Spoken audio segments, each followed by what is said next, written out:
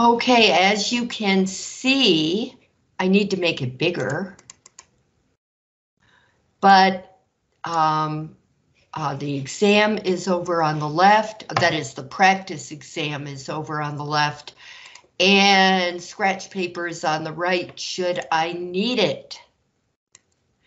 But I'm going to scroll through this real quickly. Uh, the practice exam starts out with, um, okay, you're going to be simplifying radicals, square roots in particular. And then you're going to square um, a sort of a binomial. I guess we could call it a radical binomial. Uh, then square both sides of an equation of, of a radical equation, that is solve a radical equation. Use the Pythagorean theorem to solve um, a triangle, a right triangle problem. Uh, transformations and one-to-oneness.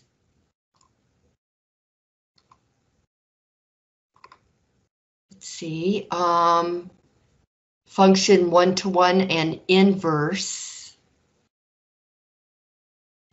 So you're going to be finding the inverses. You're going to be playing around a little bit with complex numbers. Everything we've been studying since the last test. Um, solve quadratic equations, but this time you're using uh, the quadratic formula should you need to. Um, okay, you're analyzing quadratic functions, that is finding the vertex. And a couple of word problems that have to do with finding the vertex. um, let's see, zeros of functions and how they relate to uh, x-intercepts. What are zeros of functions? Um, intervals of increase and decrease, local maxima and minima. Um, analyzing um, a polynomial that is what is the leading term, what's the leading coefficient, blah, blah, blah, blah, blah. End behavior, uh, the importance of the leading term, uh, find a polynomial of lowest degree with only real coefficients having, okay, and you are going to uh, actually build polynomials from the zeros. And so there are a measly 30 problems on the practice exam, and I believe there are 20 problems. I don't really remember. I think there are 20 problems on the exam. There might be 25, but I really tried to reduce the prop the uh, number. So with any luck at all, it's down to 20. So now, go ahead and put some questions on me. I am here to be the answer lady. If you don't have any questions, that's fine. I'll be here tomorrow playing the answer lady again. And then Wednesday we go back to work. Can you do number three? Yes. Yes, I would be glad to do number three.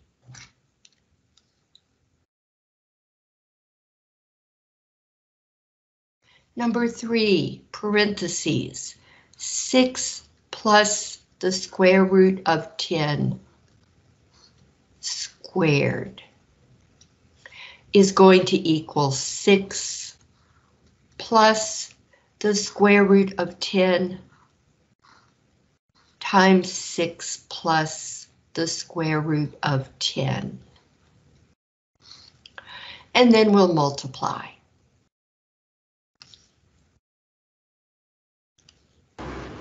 Are we just reviewing today, Professor? We're just going over the uh, practice final exam, yes. So I'm being the answer lady. Uh, would it be okay if I uh, go take the practice exam and leave class? Sure, sure. Absolutely. Good luck on the practice exam. Okay, six times six is thirty-six. Six times the square root of ten, that is six times plus the square root of ten, is plus six times the square root of ten. And the square root of 10 plus the square root of 10 times 6 is another plus 6 times the square root of 10. And then plus the square root of 10 times plus the square root of 10 is plus the square root of 10 squared. Which of course will be 10, right? So this is 10. we'll have 36 plus, if I have six square roots of 10 and I add another six square roots of 10, I will have 12 square roots of 10. And so I combine the two like terms, that gives me 46 plus 12 times the square root of 10.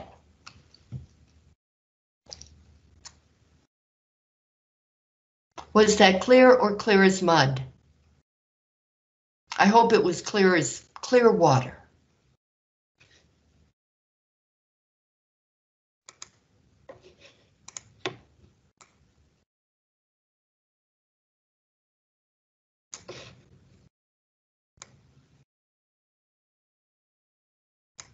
There. Okay, so let's write that, write the answer. Forty-six plus twelve times the square root of ten, just so we know we did it.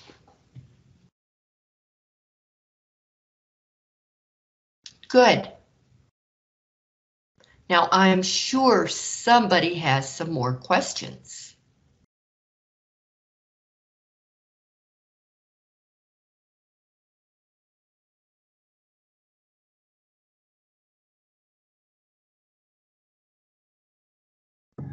How about number four? Sorry. Okay, sounds good.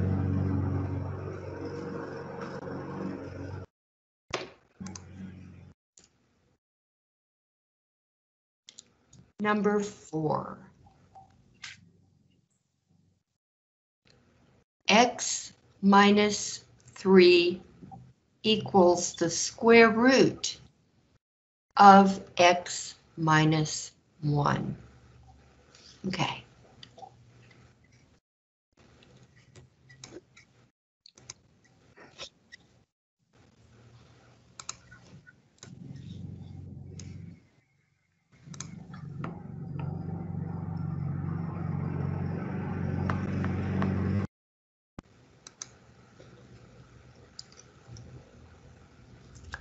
Okay, we square both sides, right? Um, first, I have to make sure that one radical is, is isolated. It's all by itself on either the left or on the right of the equal sign. So we have that made here. We have that fulfilled, that contingency fulfilled. Now I'm going to square both sides.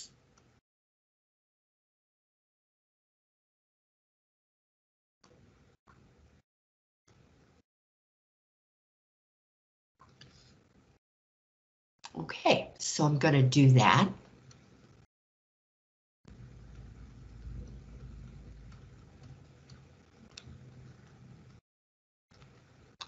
When I square a square root, I just get what's underneath, so it comes out.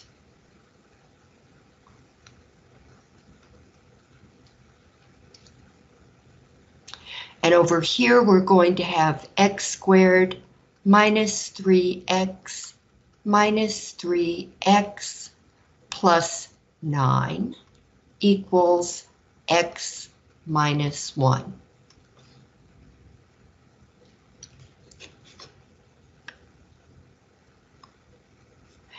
And that'll be x squared minus 6x plus 9 equals x minus 1. Now, this is a quadratic equation, so I am going to pull everything over to where the x squared is positive, because it's easier that way than moving everything over to the other side. Ah. Okay. So minus x minus x plus 1 plus 1.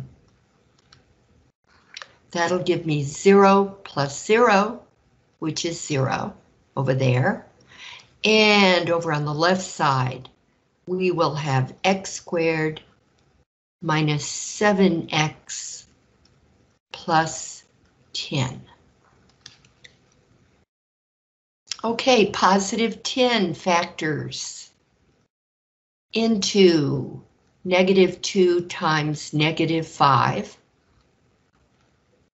And the reason I went with the negative factors is they have to add up to a negative factor.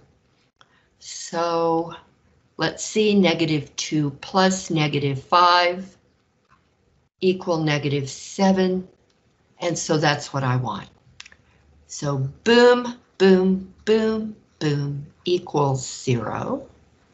X and X and minus 2 and minus 5. There I have the factorization. And then I set each factor equal to 0.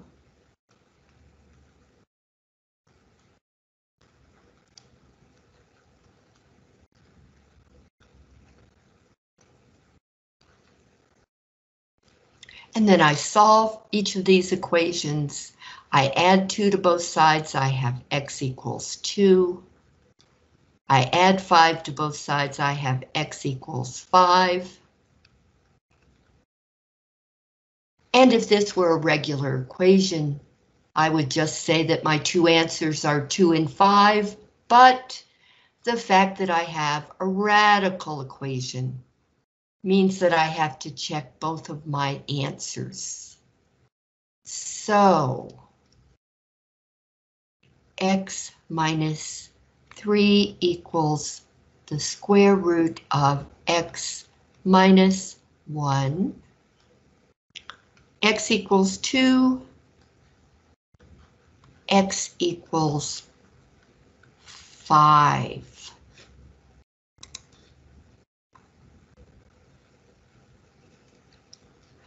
Um, so I'm going to check both answers. For x equals 2, I'll have 2 minus 3 equals the square root of 2 minus 1. So negative 1 equals the square root of 1. The square root of 1 is positive 1.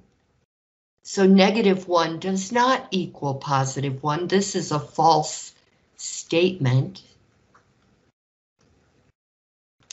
So this says that x equals 2 cannot be one of my solutions. That doesn't mean that x equals 5 automatically is. I have to check it and make sure. Uh, 5 minus 3 equals the square root of 5 minus 1. 5 minus 3 is 2. 5 minus 1 is 4, so we have the square root of 4, which is 2. So we'll have 2 equals 2, which is true.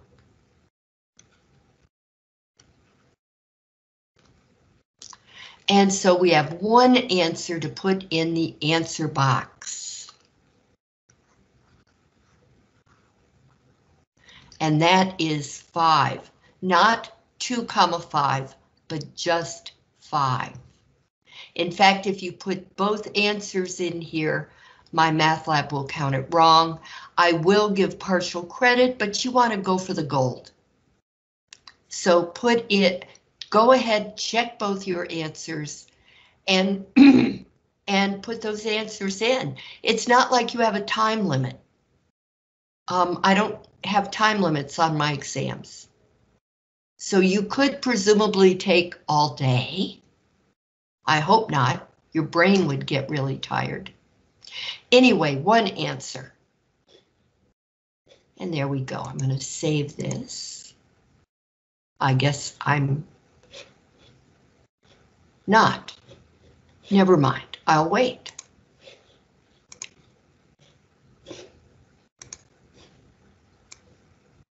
Okay. Next question, y'all.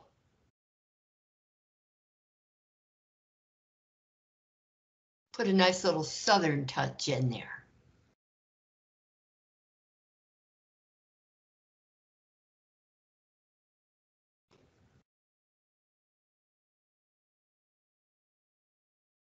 Scroll through here again, give you some ideas. What do you know that you have trouble with that you miss every time? Get the working on inverse. Got it. I just know I always miss a couple steps in there. It kind of confuses me. Well, good. Let us definitely do that.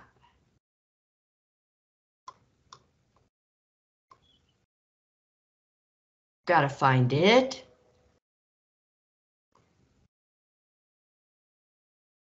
Mm-hmm, mm-hmm, mm-hmm.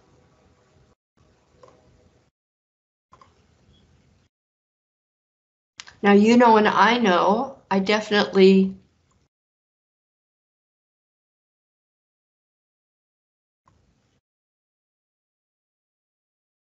All right, solving, no. One to one. There we go. There's a one to one. Let's do that. All right, so number 10.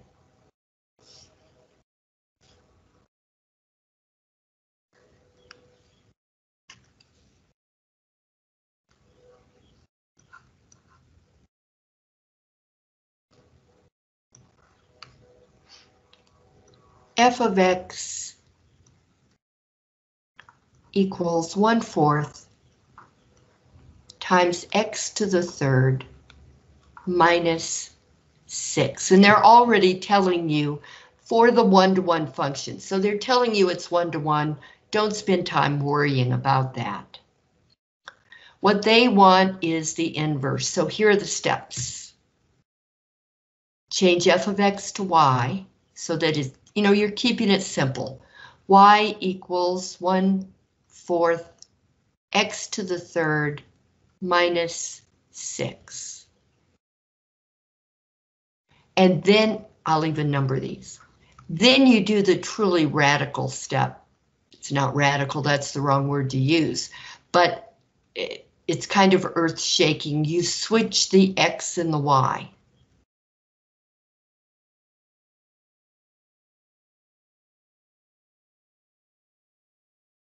I was never comfortable doing that.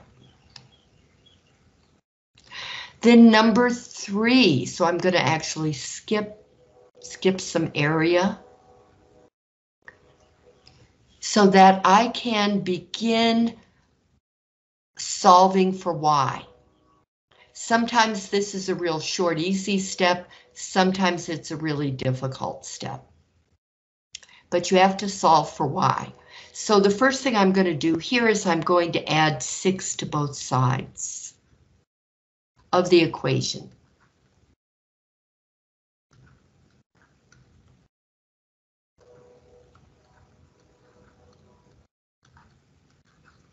So there I've added 6 to both sides of the equation, which zeroes the, the minus 6 out. So I'll have x plus 6 equals 1 fourth times y to the third.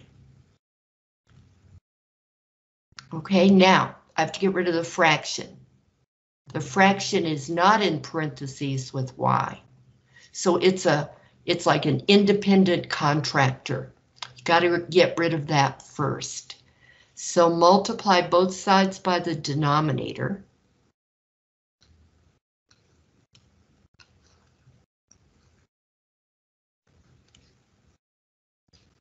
All right, so you'll have 4x plus 24 equals, the 4's cancel, that's why I did it, so I'm left with y to the third. Then to solve for y, I have to do the opposite, not the opposite, the inverse operation of y to the third, which is the cube root of y. So I'm going to take the cube root of y to the third and the cube root of 4x plus 24. And that's one thing. So you can't say, well, maybe I should take apart 24 and find out if it has a cube root. No, this is one thing, 4x plus 24, so don't do that. All right, the cube root of y to the third is y, but how you can prove it to yourself is this. This 3 on top, that 3 on the bottom. Since 3 over 3 is 1, or cancels out, that leaves you with just plain y. So y equals the cube root. Now, um, MyMathLab might leave the answer like this for parentheses x plus 6, or might have it like this, doesn't matter, they're both correct. And so when you get to the answer box, you see this, you see this.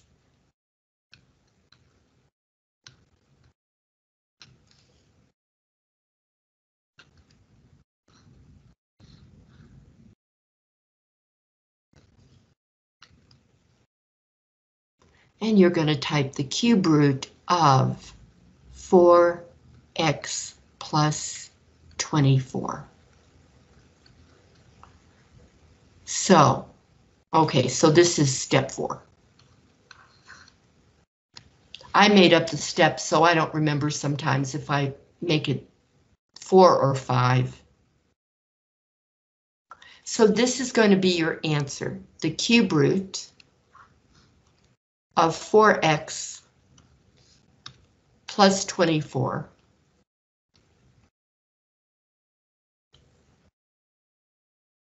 Now, you can graph these or not, uh, but the domain of any polynomial, this is just a polynomial, is negative infinity to positive infinity. And the range of any cubic is negative infinity to positive infinity. So you reverse those for F inverse, but it's still negative infinity to positive infinity.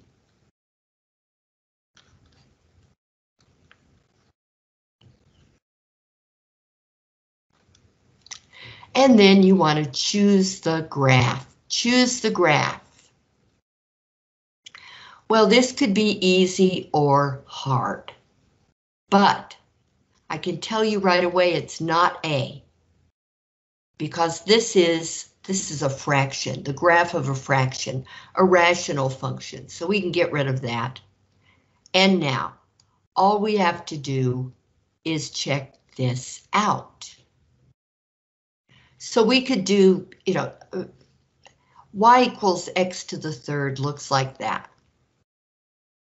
Now y equals 1 fourth x to the third would be a little flatter.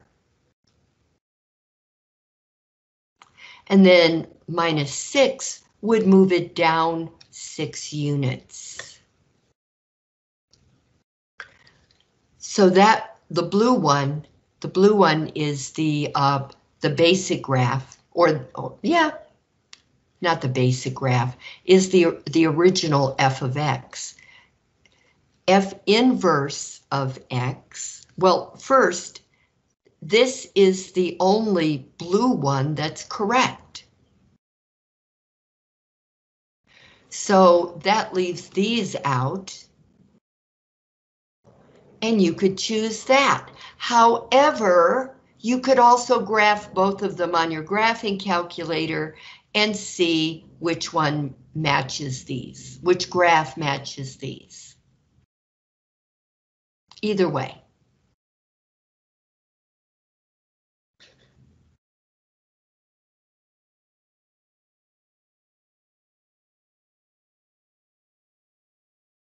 Okay. We can even go for another one. How about this? Is this one-to-one? You don't even have to know anything about it. Just do the horizontal line test. Excuse me. That's right. These are on different programs. All right, horizontal line test coming up. That horizontal line crosses this graph at only one point. So this is one-to-one. Just for future reference, this is an exponential function. All exponential functions are one-to-one.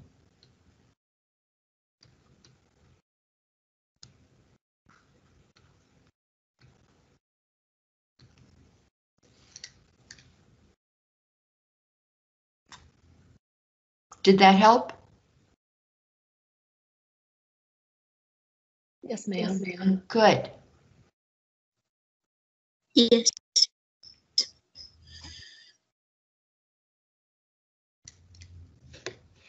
Was, was someone trying to ask a question? It was very staticky where I am. It was more of a reply, but um, can the next one maybe be one P nine. I'm sorry.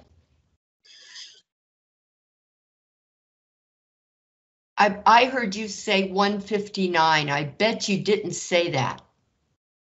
I believe she asked for 29. Ah, thank you.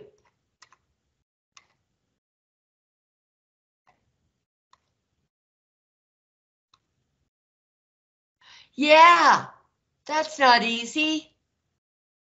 Let's do it. Get a whole new piece of paper for this one. Number 29. Go back to black. All right. You have three zeros here. Zero, one is three plus the square root of six. Zero, two is 3 minus the square root of 6, and 0, 3 is 5. And we're asking, they're asking, find the polynomial of lowest degree with real coefficients and having these zeros.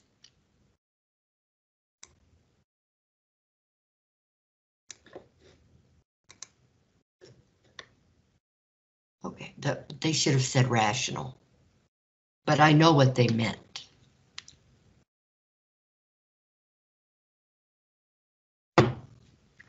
The reason I say that is we're dealing with square roots here. So anyway, these are conjugates. When you've got real rational coefficients to the x's, um, every radical function has to include or has to accompany its conjugate. Um, just telling you that. So anyway.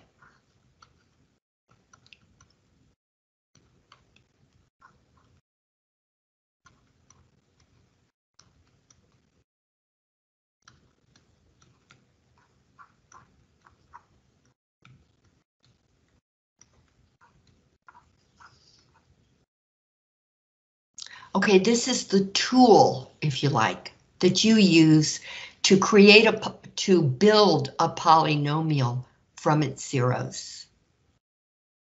All right, we're assuming that A is one unless you're told otherwise.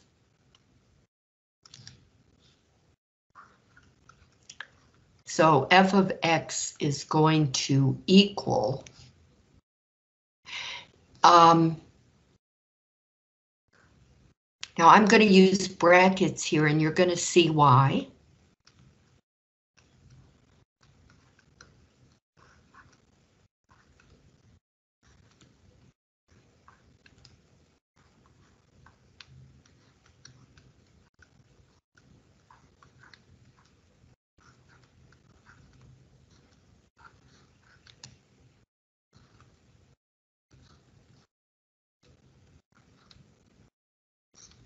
So that's what we've got right now.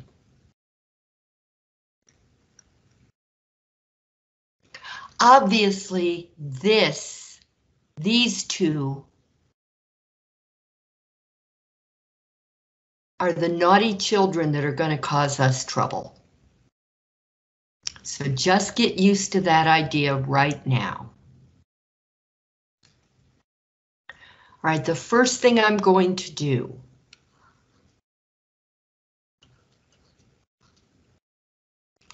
is distribute the minus sign. So I can get rid of these inner parentheses. x minus 3 minus the square root of 6. Now I'm keeping my brackets for a reason that will become apparent in a few minutes. Times x minus 3 plus the square root of 6 times x minus 5. Now, now I'm about to do something.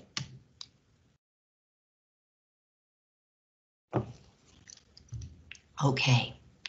Notice for a minute, please, that x minus 3 matches x minus 3. It's my favorite color.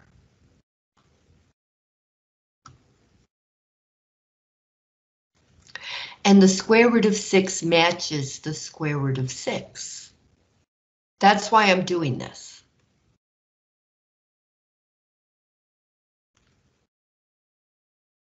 So these two uh, factors are exactly the same, except for the sign in the middle. So th these match, these match, but just the signs in the middle are different. That makes them conjugates. Of course, we already knew they were conjugates, but this makes them conjugates. Even the X is involved with the conjugates. So I think I did this Thursday. Is this Monday? It is, isn't it? I think I did this Thursday in class, uh, a similar problem, not this problem. But what I'm going to do is this.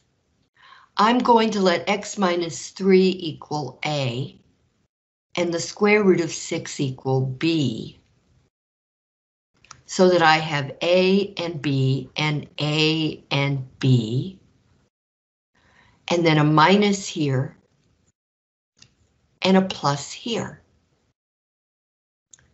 And now I'm going to multiply them. So I'll get a squared plus ab minus ab. That would be minus b times a, but b times a and a times b are the same thing. Minus b squared. And then we have AB minus AB. Well, that's zero. They, when, whenever you subtract the same thing from itself, you get zero. So you'll have a squared minus b squared. Now what that means for us is that since a is x minus 3,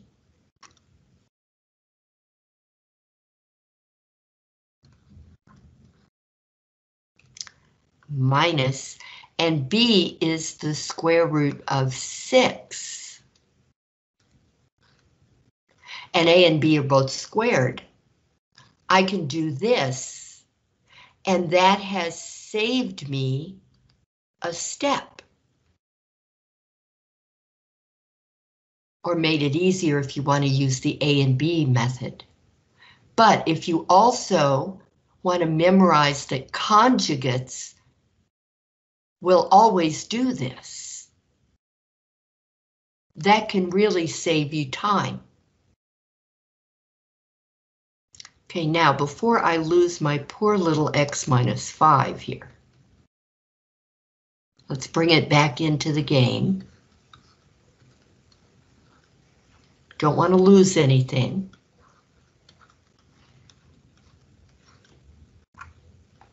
Now I'm going to square this and square that.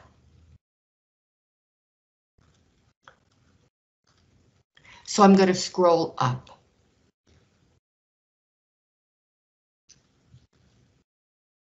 And I will have x minus 3 times x minus 3 minus the square root of 6 squared is 6 times x minus 5. I promise we will use x minus 5 eventually. Just got to get the harder stuff out of the way first. Now, this is going to give us x squared minus 3, x minus 3, x plus 9 minus 6 times x minus 5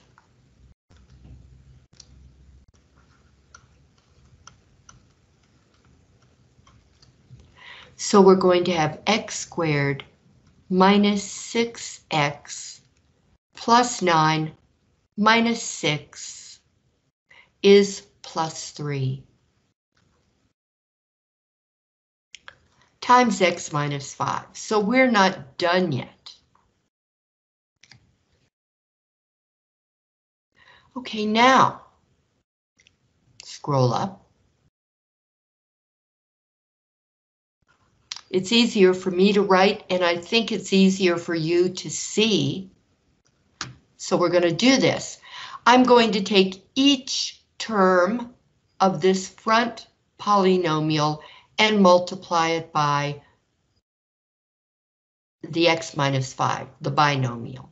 Okay, so I'm going to have x squared minus 6x plus 3, I don't need that much room, I know, but still, times x minus 5 times x minus 5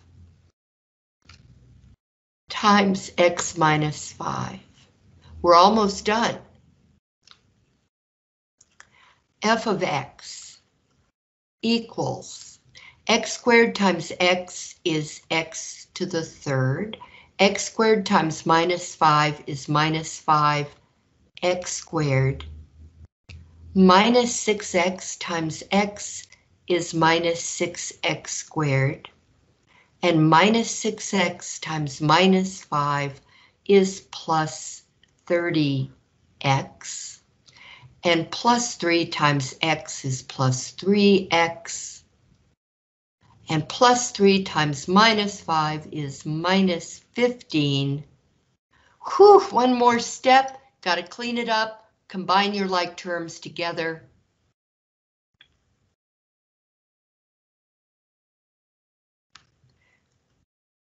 x to the third minus 5x squared minus 6x squared is minus 11x squared And 30x plus 3x is plus 33x. And then minus 15.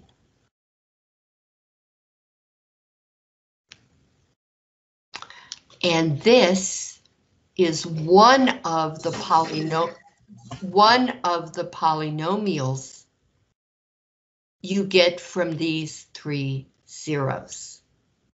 You can change the polynomials by changing the a. If a were 2, if a were 3, if a were 4, if a were 5, and so on and so forth. But here is our basic polynomial right here that um, that you get from these three zeros.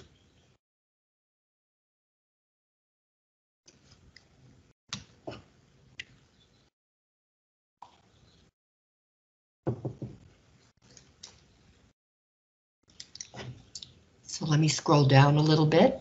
There. This is what we did.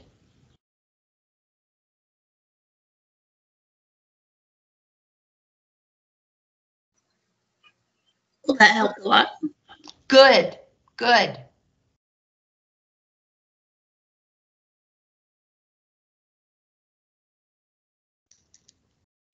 So.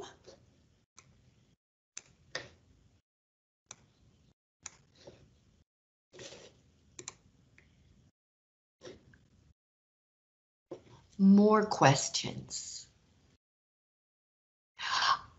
Let me mention this.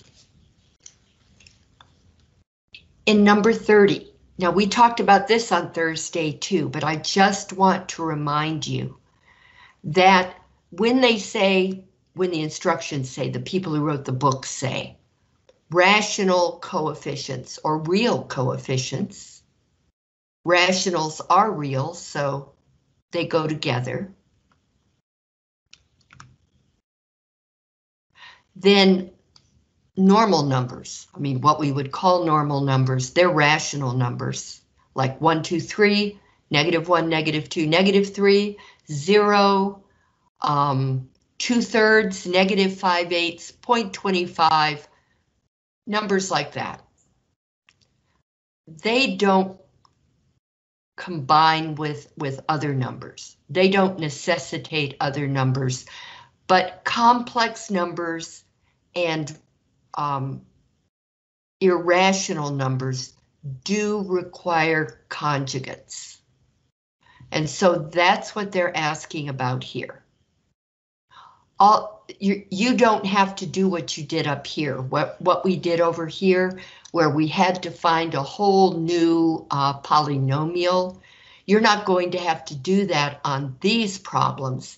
These are really short all they tell you over here is that, okay, there is a polynomial of degree 4 with rational coefficients that have the given zeros.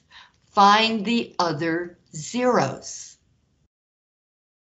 Okay, well, negative i is your first zero here. And negative Oh, no, it's not. It's 2 minus the square root of 5. That's an irrational number. Notice it also has two parts, just like um, complex numbers do. So, you know, even though it's a real number, it's got that. Sometimes you just can't get away from it. But anyway, these, this is a complex number. This is a, a real number, but an irrational number. Both of these require, must be accompanied by their conjugates. So let's figure out what the conjugates are. If I put negative i into complex form, a plus bi form, then I'll have 0 minus i. So the conjugate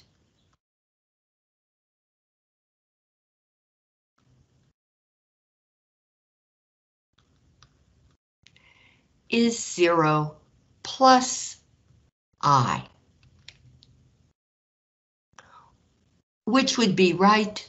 However, since they write it as negative I, you can just let this equal 0 plus I is just I. Now over here you have the same thing. The conjugate of 2 minus the square root of 5 is 2 plus the square root of 5. So these are going to be your other zeros. And that's what you're going to write in here. You're just going to write I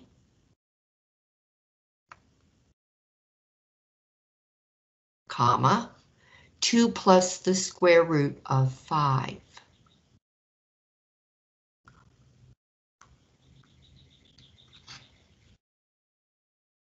Okay, that can mess you up considering that you're just coming from where problems where you had to actually build, or one problem where you had to actually build a polynomial. Um, I mean, I have messed that up before by not carefully reading the instructions. Um, and I've gone ahead and I've actually built a polynomial, which was not fun or easy. However, this is all they were asking for. So be careful to save yourself work if you can. Oh. Okay. Normally I would have put a, a bunch of these and a bunch of these and um, a bunch of these and but we were already pushing 30. Remembering that this is ir um, irrational. This is intermediate algebra and college algebra put together. You have problems from both classes. So that cuts down on the repetition.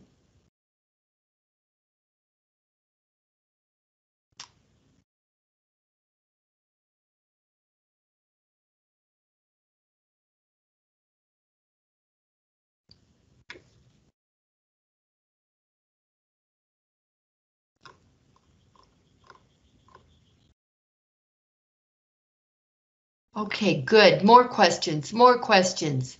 Talk to me, talk to me.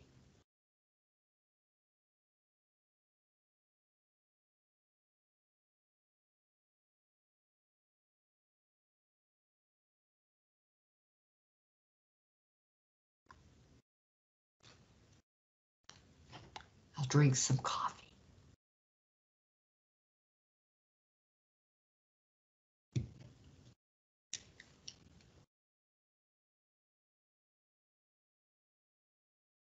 And save my document while I'm at it. Can you scroll up? yeah, sure.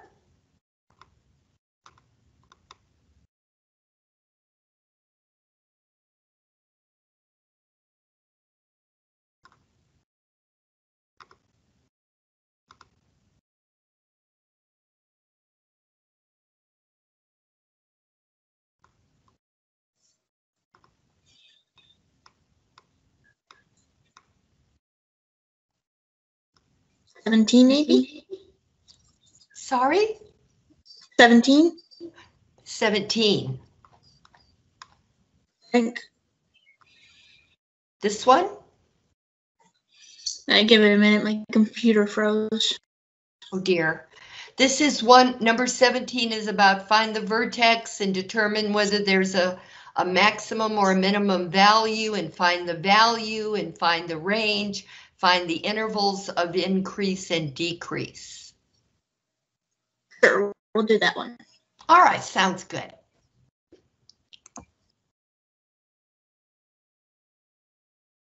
Okay, so we're looking at, well, I think I might be able to do it on here. We're being asked for the vertex. Once you have the vertex, you easily have, hold my breath for a minute, hiccups. Um, once you have the vertex, you have the answer to all the other problems. So that's why finding the vertex first is such a handy thing. Okay, so we're going to find the vertex. Here you have um, a function in which A is 2 and B is negative 16. So negative B over 2A is going to be negative negative 16 over 2 times 2 equals positive 16 over 4 equals 4. Now that's the x coordinate of the vertex. I still have to find the uh, y coordinate, which is going to be 2 times 4 squared minus 16 times 4 plus 33. And I am going to grab my calculator for that.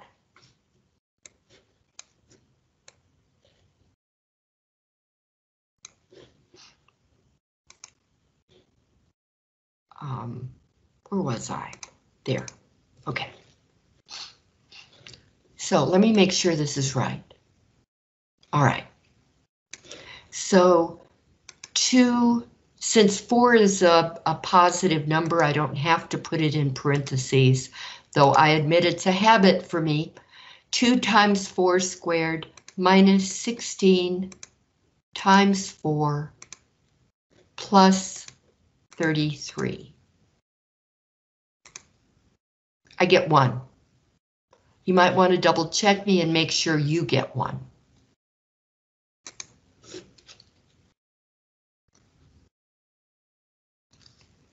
Call that crowdsourcing.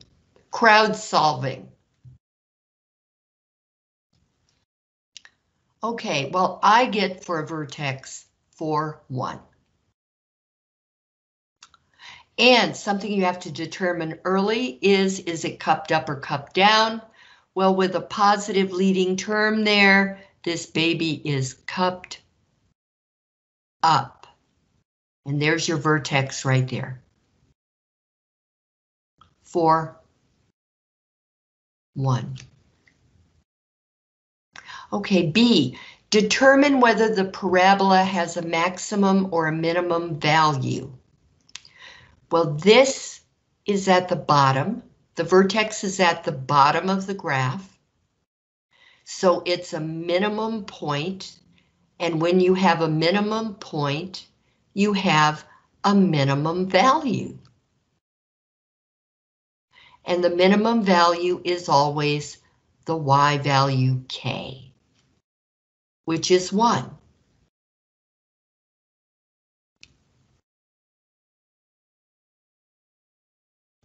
All right, so the parabola opens upward and the minimum value and has a minimum value of 1.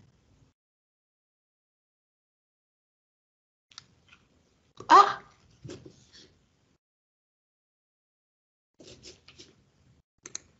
There.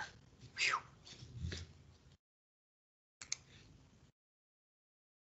All right, now what's the range? You don't often get asked that. But the range, let me draw this again.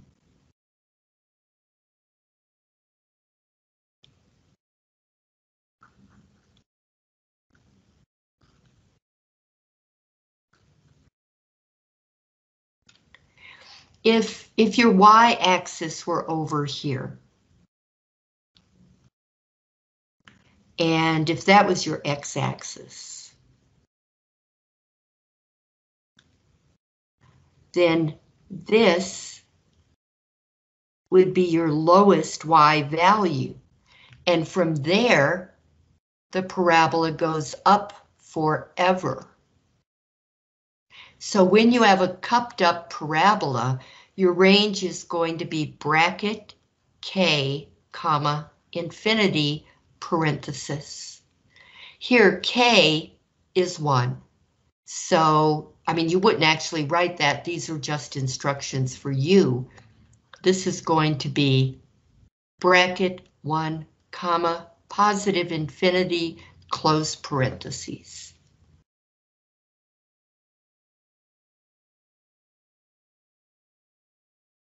Now, on what interval is the function increasing? Well, it's going up here.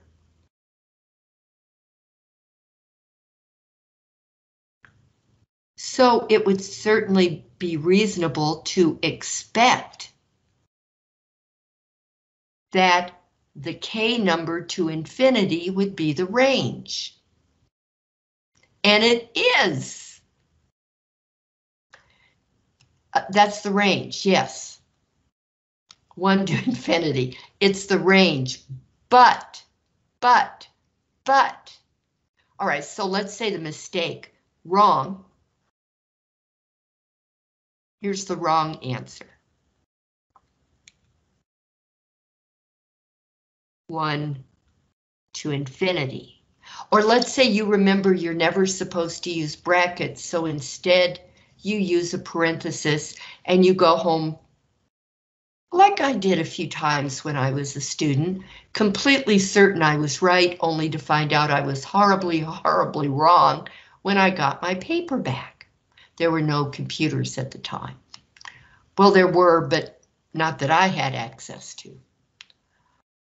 So this is wrong. What is correct? The correct answer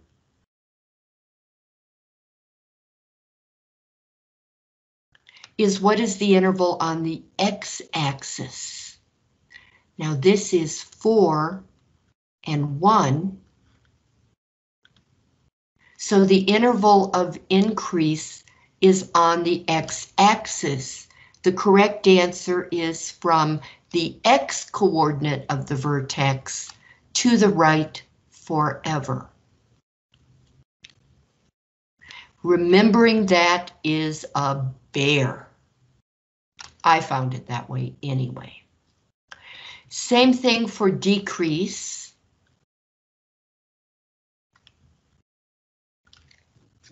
Scroll up. Here we've got 4, 1.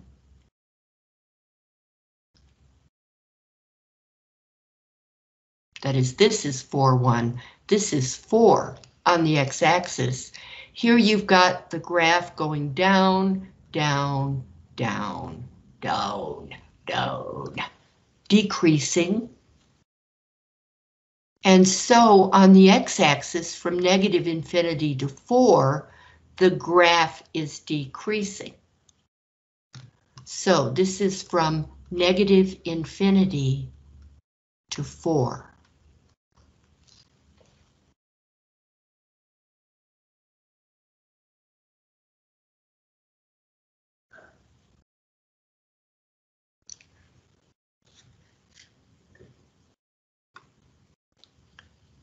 It doesn't feel right. I should get red, right? Red. Big old red X.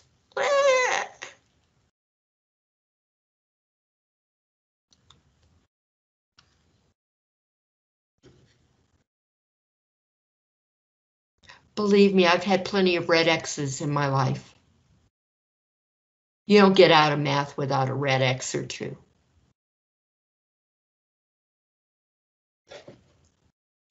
Although a lot of teachers use pink now. Because it's not red and people have bad associations with red. I also discovered people don't pay attention if you don't use red. That's why I went back to red. When possible. Okay, more questions. Can we do 16?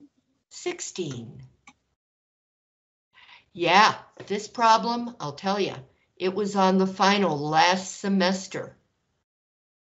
Now that doesn't mean it will be this semester. That was one of the problems given by the math department. And I never know ahead of time, more than a week ahead of time, what their problems are going to be. Maybe we'll know two weeks ahead of time. There is talk about letting everybody know two weeks ahead of time. That would be nice.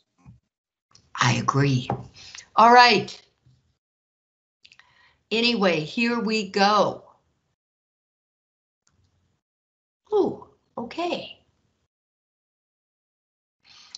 All right. You have 3x squared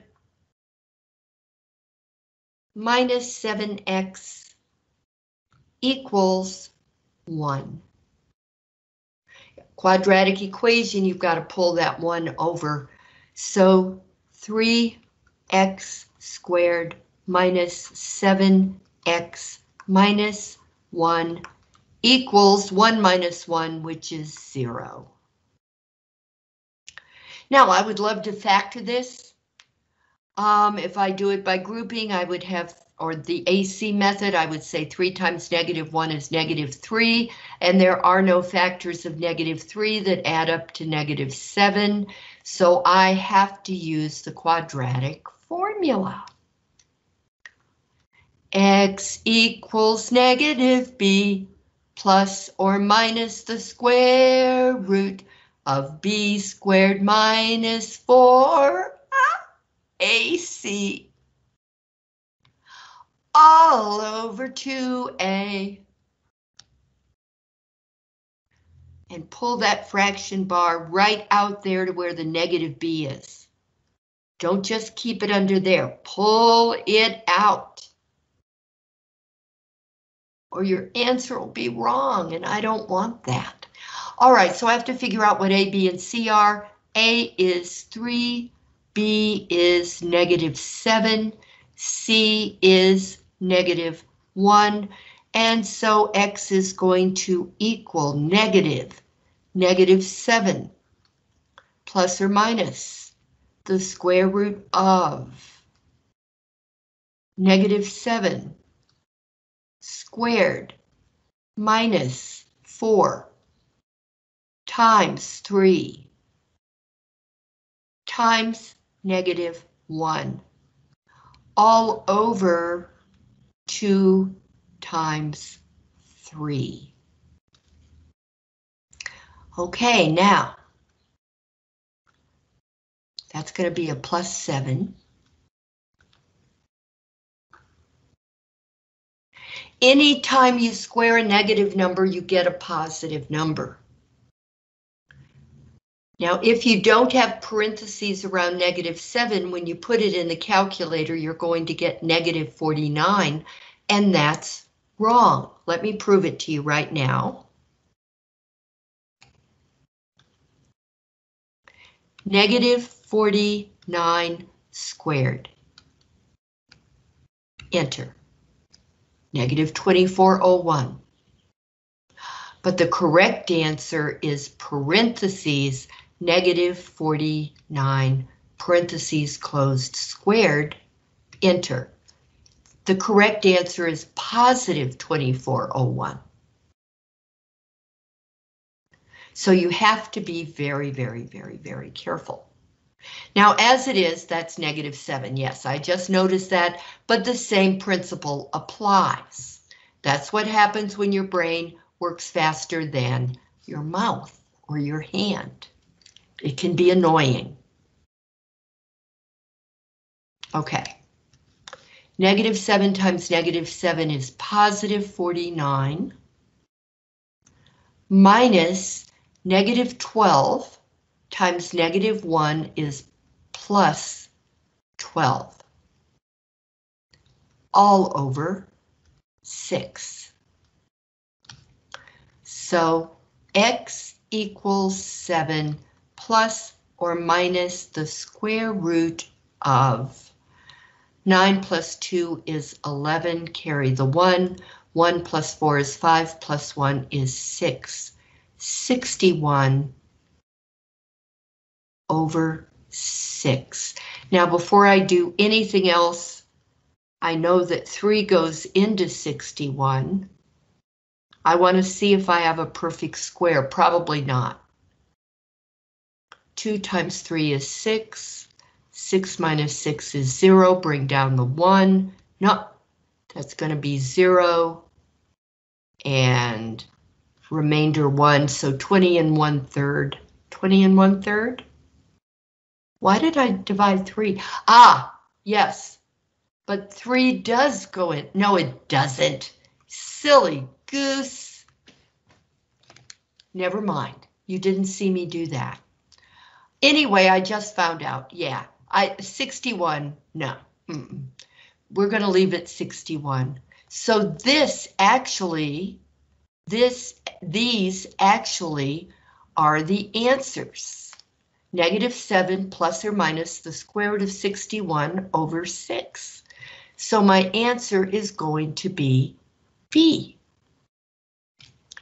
Now, if you had not put parentheses around the negative 7, you would have had negative 49 plus 12. There would have been a negative answer under there, and you would have had an I in front, so you would have chosen C.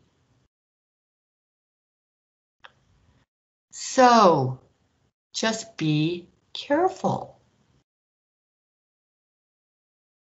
it's positive 7. Positive 7. Goodness. Okay, partial credit for that. A is the answer. Because negative negative is a positive, you've got positive 7. Okay, that was number 16. 7 plus or minus the square root of 61 over 6.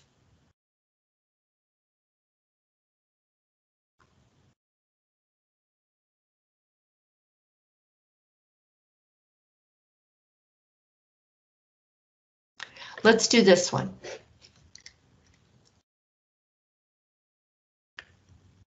Five x squared plus 15 equals zero. You do not have an x term here. You can pull out a common factor if you want. 5 times x squared plus 3 equals 0 and then divide both sides by 5. That would actually be a good way to start. If you're going into this kind of cold. Uh, 0 divided by 5 is 0, so now you've got x squared plus 3 equals 0. Ah, what are you going to do here? Well, subtract 3 from both sides. And what that's going to do is give you x squared equals negative 3. So when you take the square root of both sides so that you can solve for x, you are going to have to move over your equal sign. Plus or minus There's a negative under the radical. So you have been drop kicked into the complex numbers system. So you're going to have x equals plus or minus the square root of negative 1 times 3. So you are going to have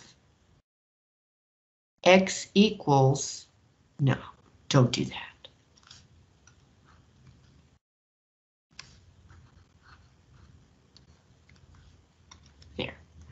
X equals plus or minus the square root of negative 1 times the square root of 3, which is x equals plus or minus i times the square root of 3, which is a perfectly good answer, unless they say to put it to put a uh, complex numbers in A plus BI form, which they don't say. So you can leave the answers like that.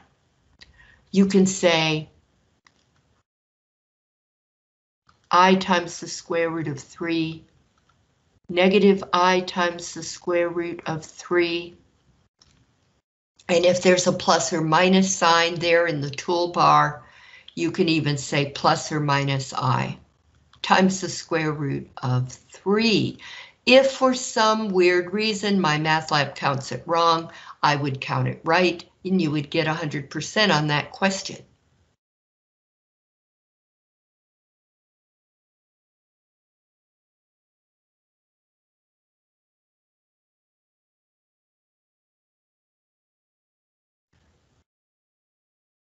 Okay.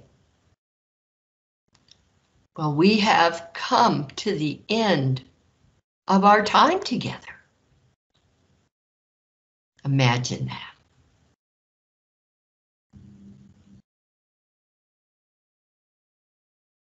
Okay. It's on to the test, but I'm going to show up here tomorrow anyway to continue being the answer lady.